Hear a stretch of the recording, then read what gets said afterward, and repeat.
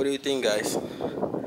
Pontiac GTO I believe this is a 2006 Pontiac GTO 6.0 liters. And this is automatic but still man this is a beast let's check out the the engine.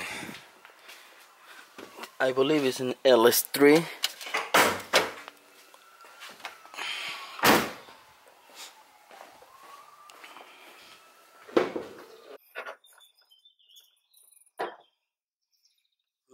at this beer.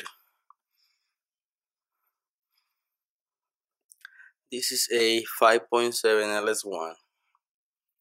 5.7 liter, but still looks really clean.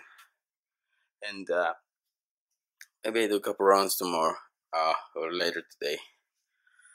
See what it's made of.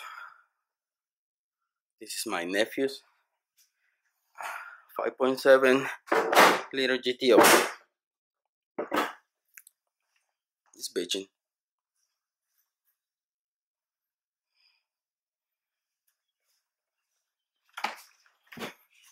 Last time that I came here, I already drove, I already drove this car, so I know it's got some torque. I wish it was the five, the six liter, not the five seven, but still it's really good. I like it. I like it a lot. And well, guys, let me introduce to you the new ride. I know it's not a WRX, but uh, for what it is, it's, it's fun. It's fun to drive this car. This is a 2010 uh, Subaru Impreza. Okay, so I saw it yesterday. I drove it yesterday, and uh, it's not it's not bad. You know, it's it has a lot more torque than Honda's. Let me tell you that. So my wife picked this one up like a couple days ago, and uh, I drove it yesterday first time, and uh, I like the car. You know, for what it is, I think it's it's fun. It's a fun car, and uh, it has the 2.5 liter engine, all-wheel drive, which is I was I was testing it yesterday. Yes, it has a lot of grip. I was checking the engine, cooling system, all the fluids. Right now, looks like everything's legit. My only concern is this box. It's a little shaky, but probably when I throw a intake before I I make my drive all the way to Atlanta on it.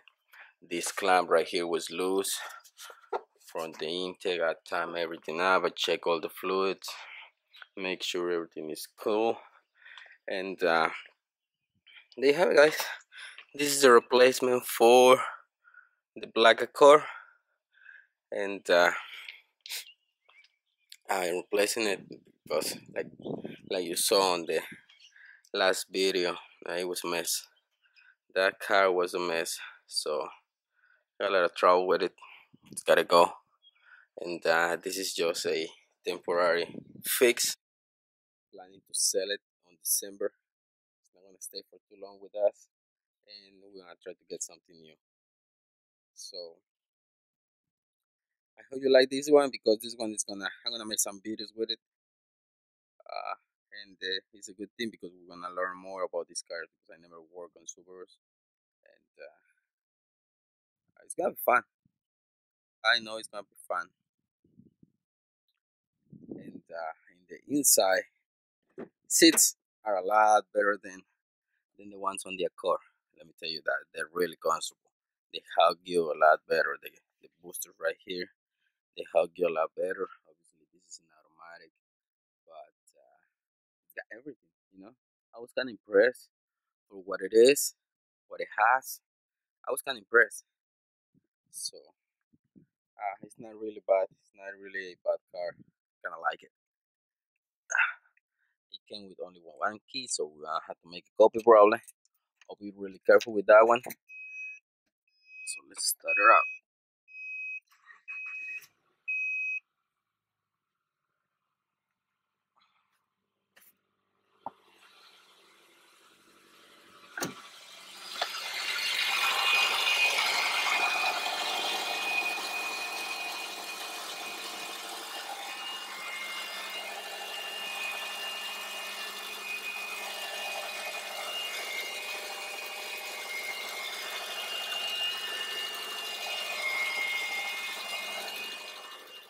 It has the boxer engine so you know it's got that super rumble. If it, if it was a manual I can throw some uh, exhaust some uh, intake and this thing will sound like a proper Subaru but uh, for what it is guys I can't complain. It was really cheap was not a really expensive uh, clean title. And uh, there you have it that's the new replacement. Uh, in a couple days I'm going back to uh, Georgia.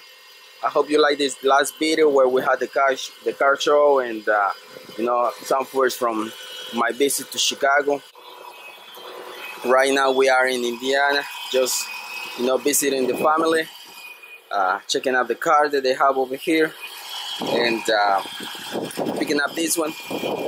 And we're gonna drop probably in a couple days. We're gonna go back go to Georgia and I'm gonna start you know working in this car. Do a little DIYs on it. Uh, for where it is it's really clean. I already checked everything. I like it. Uh, but I know I can I can throw some videos on this one. And uh, I like it. It's really fun. So there you have it guys that's a new car. That's a new uh, project. Uh, hopefully it's not gonna stay for too long. On December I'm planning to sell it and it's gonna be really cheap. No I'm not gonna sell it really expensive. Um, just need something right now to replace the Accord because it's busted so I don't plan to fix that. Uh, let's get another one. And uh, there you have it. That's what it is. The 2010 Impreza. I wish it was a WRX but hey for what it is it's fine